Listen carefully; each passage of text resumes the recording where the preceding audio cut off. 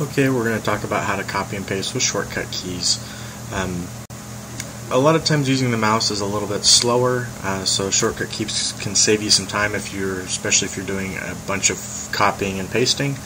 Um, so just like copying and pasting with the mouse, we're going to get our mouse where we want it and drag and select using the left click of what we're wanting to copy. But instead of right clicking now, we're going to go ahead and hit Control C. That now copies it onto your clipboard.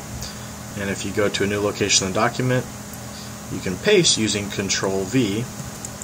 And as you see it pastes. And down here I've put, just for visual reference, I've put the actual buttons you have to hit.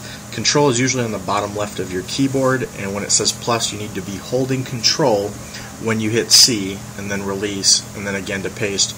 Hit Control and hold it and then add V in order to actually use the shortcut keys. Thank you.